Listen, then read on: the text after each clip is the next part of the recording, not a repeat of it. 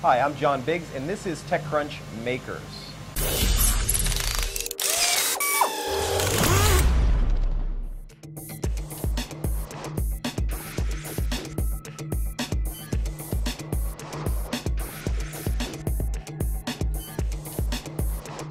So we're here in Santa Clara, California. I'm here with Terence Tang of Element Cases, and we're in your fabricator, which is K-Fab out here. So these guys build this amazing little case for the iPhone. It's called the Ronin, and it uses nickel-plated aluminum and wood to essentially encase the sides of the iPhone. And you also have carbon fiber on the front and back. But what's most important is this is the place where all this is made, right, Terence? That's correct. And how long does one of these take from start to finish? takes about an hour All right. to do one case. So let's go from beginning to end, I guess. So let's we have all the parts here, and we can look at all the machines that are uh, that we use. Correct? That's correct. All right. This is one of the first operations that we do, and this is for the power button. We start off from a bar stock of aluminum, gets fed into the machine, where their first operation of uh, profiling the power button is done. Uh, first operation is just profiling the button. Um, it goes into this fixture, and then the whole backside will be machined off, and then you're left with Something the tiny like power that. button. So now let's take a look at the, how the wood is put together. What's really unique about the Ronin case is uh, one of our first cases that we're trying to utilize uh, wood with our aluminum cases. Left and right side rails are all made out of wood. It's a special South American wood called ziricote. So one of the issues with uh, machining wood, obviously, uh, it's traditionally it's not machined. We have to find out solutions on how to work with this type of material. So these are the different stages that this wood goes through. Is that correct? That's correct. So you have sort of a partially unfinished piece that moves into here's a partially unfinished piece, moves into something a little more specific. And you do a lot of handwork on the wood to get it smooth, or what's the what's the process after? pretty much pretty much right off the machine. Um, the wood is pretty much almost there. Uh, the only thing that we do um, after this is we'll cure it. We'll put some uh, nice, we'll put some uh, hand rub oil finish on it, um, and that helps protect uh, the pores and whatnot of the wood. And then after that, it goes into pretty much assembly. So you, pretty much uh, the wood part is straight off the machine is ready. Okay. All right, so let's look at the top and bottom, which are these nickel-plated aluminum pieces here. So these are your secret plans for making essentially these, which are machined the same way as the uh, power buttons. That's, that's pretty much correct. We all start off with bar stock aluminum. We have a, a top and a right side of the case. So that's our top side. There's our bottom side where the connector ports go into. Um, here at K-Fab, we go and uh, make sure that all the parts are color coded so we know exactly which fixtures it will go into. This will go back into the fixture and then the back sides will get machined off and finished for the final operation. After it comes off the machine, um, there is a hand deburring, so it's very time consuming. Um, after that, depending on what type of finish we want on it, uh, we'll go to the extent of uh, polishing these all up all by hand before it goes to uh, ana- our anodizer or uh, any type of other plating that we use. All right. So right now what we're looking at, we're looking at uh, the, the major controls for the Ronin case, which is uh, the volume up and down and the mute switch. So these are the little mute and volume switch buttons.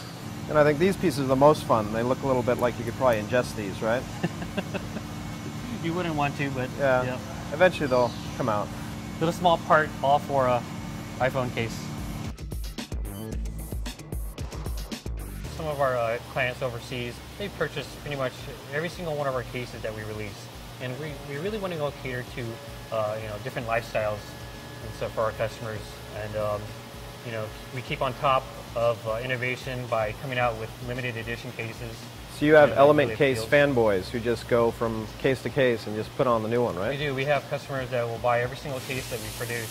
So a lot of people compare iPhone cases and the soft goods industry sort of to the fashion industry, where you still have the problem counterfeiting and people can do it fairly quickly and easily. As soon as your fall line comes out, they can copy that and send it over.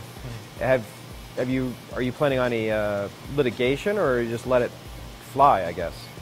I think especially when you talk about uh, So the manufacturers in Asia that does all the counterfeiting, you'll never be able to stop them. They copy our entire packaging all the way down to any misspellings that we may have. I think the only thing you can do as a, as a U.S. company is to just keep improving your designs and uh, just constantly change.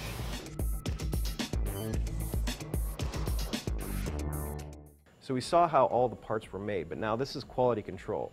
These uh, $200,000 machines are where everything is, you assure that everything fits, is that right? Correct. Okay, you're Kevin with K-Fab, Right. and you're in charge of making sure that these things are pretty. Absolutely. So what happens in this room? So in this room, we are entirely responsible for making sure that all of the parts that we're producing for Element Case are uh, conforming to their specifications as well as being uh, in their pristine cosmetic requirements. So every single piece that comes through here is tested and measured? Yes. So that takes a little bit of what? Well, it's done on a sampling basis, and we work with those requirements ahead of time, but we definitely make sure that uh, it's robust enough to ensure that all the parts that they deliver are uh, top notch. And what could happen really with a piece that comes off a CNC machine? Could it be there's some that those machines are fairly quick and fairly powerful? Is there some way it could slip, or is there there No, the machines are quite repeatable actually. Um, they do a pretty nice job. If there's going to be any error it's, error, it's usually human error, and we catch those kinds of things pretty quickly. So uh, we make sure that we uh, catch all of that stuff in here. all right? And why do you guys choose K-Fab? Uh, it looks like you're basically making everything in America, which is, I suppose, one of your primary goals. But why K-Fab specifically? Why didn't you buy a bunch of huge machines and do it in your in your basement? Well, Element K started off, you know, in a garage, and um, as we slowly um, grew, you know, we our needs grew. Um, you know, so starting off with small machine shops, you know, just couldn't meet our demand for production, high volume production. Um, when we looked at K-Fab, they are definitely capable of doing high production, as well as you know having this this massively important uh, test equipment, which measures all the quality. And uh, you know, all Element Case products, you know, have pretty much, you know, there's, they sell because of the quality that we put into it. And what's the one thing you guys have learned in making these things? They're obviously highly, highly machined. There are a lot of steps putting go into making one of these cases. What's something that you've taken away so far in building these things? Is there something that you've learned specifically? Um, pretty much learn not to cut in any part of quality. Um, every single part is inspected, um, especially you know when, when parts come from K-Fab over to Element Case, we do full inspection every single part. We do not do any batch checking at all.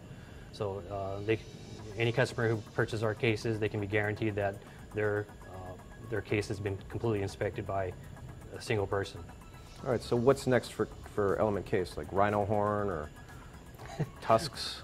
Well, as part of uh, product development, you know, I've been experimenting with uh, all different types of materials and Human different types of finishes. Mastodon, Yeah, mastodon, fossils. fossilized uh, material, yeah.